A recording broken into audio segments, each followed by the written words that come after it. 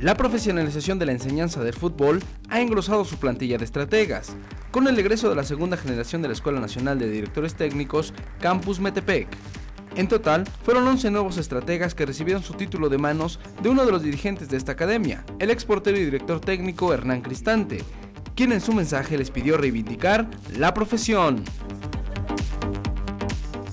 Cualquiera puede tomar esta carrera y, tiene administración, tiene elementos básicos de medicina, de psicología, que en, muchos rubros te, te sirve, ¿no? Muchos la subestiman y es una carrera muy completa.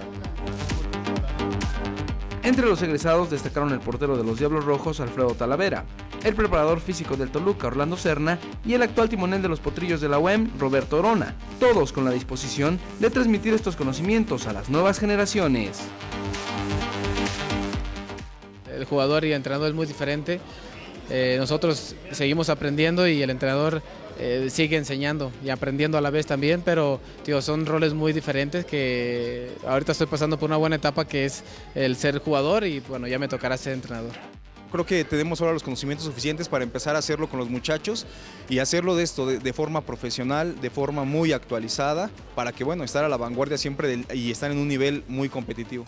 Y esto va a fortalecer aún más nuestra preparación para entregar mejores jugadores a la primera división. Otros egresados de esta generación de directores técnicos fueron Humberto Arzate, Alberto Bracamontes, Irving Ferral, Fermín García, Celso Sánchez, Eliel Ugalde, José Valdés y Juan Carlos Vera. Camarógrafo Vicente Maya, Televisa Deportes, Estado de México, Jesús Quesada.